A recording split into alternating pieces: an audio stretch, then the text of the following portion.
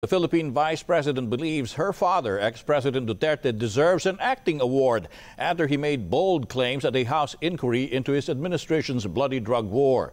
But the Vice President insists she herself will never face a separate House probe into her budget expenses. This story from Harleen Delgado. Best Dramatic Actor. This was how Vice President Sara Duterte described her father, former President Rodrigo Duterte, during his participation on the House Quad Committee hearing on the bloody drug war on Wednesday. According to the Vice President, she was asked by her father to rate his performance in the inquiry. Sabi niya, kumusta uh, yung performance ko? And I said, uh, best dramatic actor. Sabi niya, you have to rate me from 1 to 10. Sabi ko, you're a 12.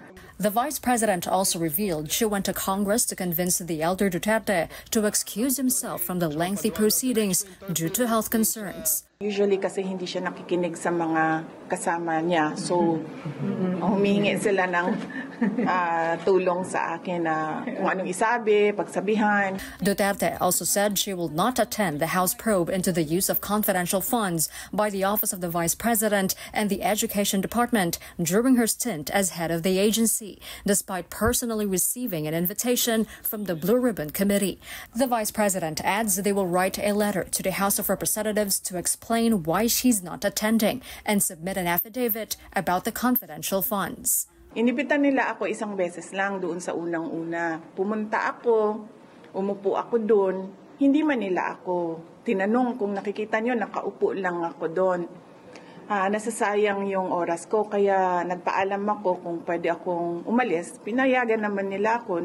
But this did not sit well with some lawmakers.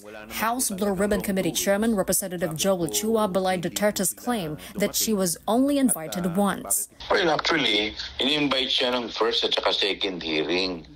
Dun sa first hearing, attend siya pero ayaw naman niya, naman niya mag-take ng oath. Tapos nagpa-excuse siya. Doon naman sa pangalawang hearing, hindi naman po siya umattend. So yung third hanggang fifth hearing, hindi na po namin siya in-invite para bilang respeto sa kanya. He also rejected the vice president's remark that lawmakers did not even raise questions. Hindi siya nag-oath eh. Kasi under sa rules namin, dapat lahat ng mga tatanungin ay uh, nagtitake ng oath. So, balit hindi naman siya nag-oath. So, uh, sa aming paniniwala, eh, wala rin namang magiging saysay kung ano yung sasabihin niya kung di naman siya magtitake ng oath. House Deputy Majority Leader Paolo Ortega, for his part, calls Duterte's refusal to attend as a strategy to evade responsibility and accountability on the misuse of public funds. House Assistant Majority Leader Jay Khonghun, for his part, believes Duterte is just making excuses to derail the main issue. Lawmakers are still hopeful that Duterte will still attend the hearing to answer questions and clarify issues involving her confidential funds. As to the allegations of former Senator Antonio Trillanes, the vice president maintains the bank accounts being linked to her family have been proven to be non-existent. Trillanes had accused the Duterte family of benefiting from the illegal drug trade. Harleen Delgado, ABS-CBN News.